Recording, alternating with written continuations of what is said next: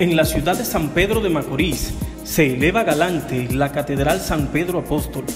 A finales del siglo XXI, en el mismo lugar que ocupa la catedral, se levantó un edificio de madera en honor a San Pedro Apóstol, donde colaboraron constructores de Estados Unidos y de la República Dominicana. En el año 1902, el ingeniero francés Eduardo García elaboró los planos para la creación de un templo de ladrillos pero al morir este tomó el control del proyecto el ingeniero Nechodoma, construyendo la catedral de estilo neogótico, con arcos de medio punto y bellos vitrales,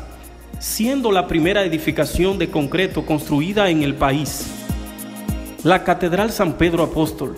es un atractivo turístico de inusitada belleza a orillas del río Iguamo